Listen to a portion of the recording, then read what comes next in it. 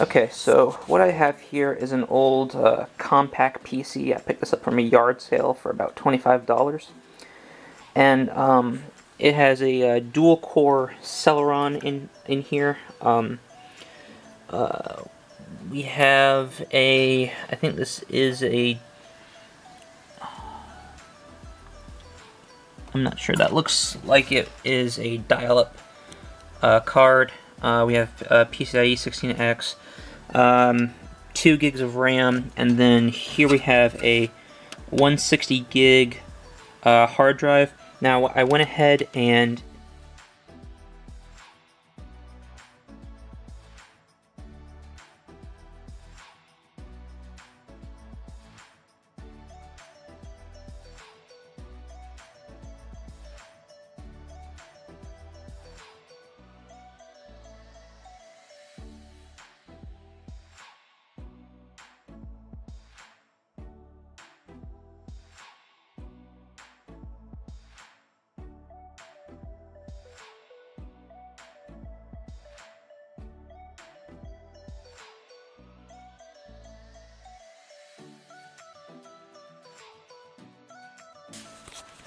Okay, so I ran into a, a problem here actually.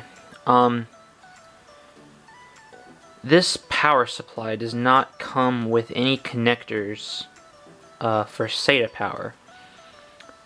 If you look at the motherboard, and this is what kind of reaffirms my suspicion, you'll notice it has two PATA connectors. So I think that this system was originally meant for PATA hard drives, which are the hard drives that were before SATA. Um, as you can see, there's a, a, one of those classic gray ribbon cables, and that's what's powering the optical drive. Of course, this is a NAS. We don't really need an optical drive. So, the OEM, the manufacturer, included, for the original hard disk, a Molex to SATA power adapter. So that's how they were able to power the hard drive. So what I did was I got one myself. So what I'll be using, I'll be, I'll be um, using this extra Molex connector to give power to the new 2 terabyte hard drive. So what we're going to do is we're going to have, uh, I put it in the cage by the way.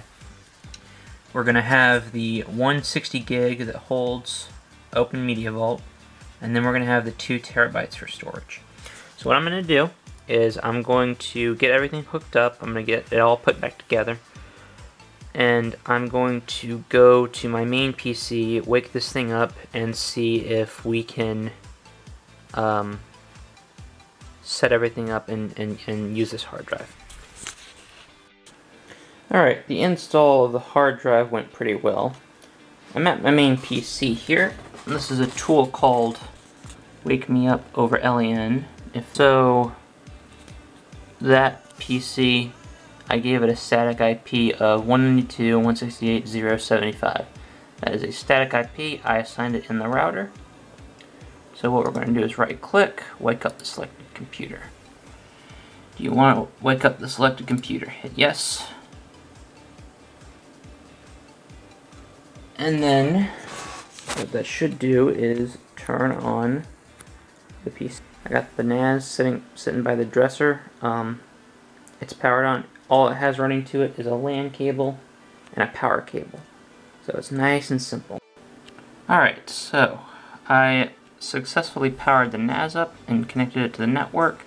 I assigned it a static IP in the uh, router. As you can see up here, it is 192.168.075. So that is the static IP of this uh, NAS, it's not going to change. So I'm going to start by setting up the file system, which is what you need. It's going to store all of your shared folders. So we're going to create it. Um, device, uh, drop-down menu, and as you can see, it is detecting our new 2 terabyte hard drive. So we have to label it. I'm just going to call it NAS um, file system ext4. I think that's fine. That should be fine. You want to leave a format device? All data is deleted, that's fine. And so, I'm sorry, OBS, by the way, is not uh, cooperating, so you just have to bear with me when I use the camera. Um, I think that means everything's fine. Or no, it's still working. Writing in. Okay. Yeah.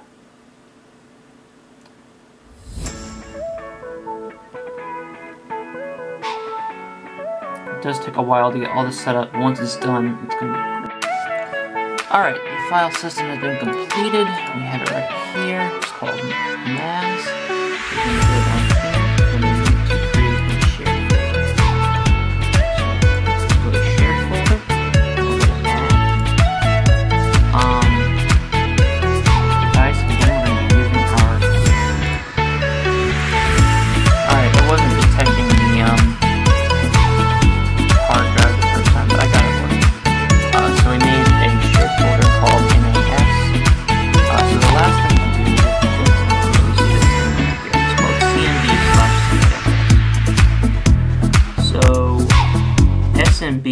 Actually just a file sharing protocol, and CIFS is Microsoft's proprietary version of the file sharing protocol. This is what you're going to need to do if, like me, you're using Windows. So you go up here. Um, most of this should be fine, um, but it, at least for me it was fine, but if you're doing something a little bit more advanced than what I'm doing, be sure to take a look at that. So what we do is we go up here to shares and uh, we're going to create a new one. Um, shared folder. Uh, the only one that we have is NAS, so we're going to use that. Uh, the name of the share, we can leave it as NAS, that's fine.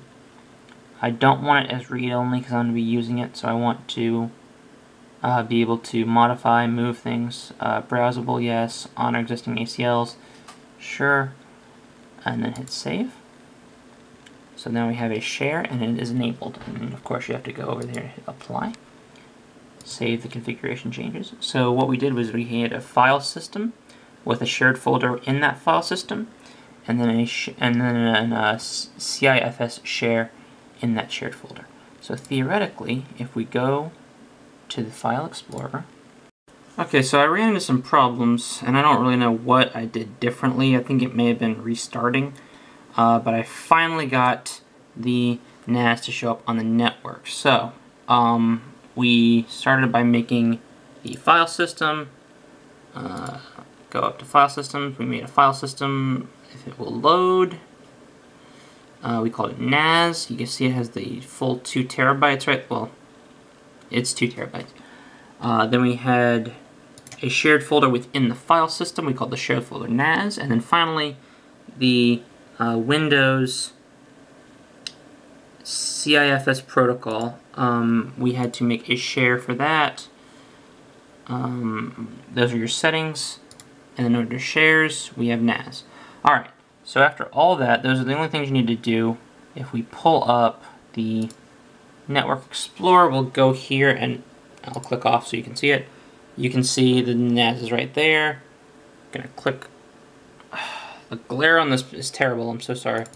So you click on it, and then it has your folders, but this is one, this one's called NAS, open it up, and then there you go. It's got your folder in here, and then the camera's not focusing. It's got my, all my stuff in there. I'm doing a big transfer right now. Alright, so, that about wraps this up.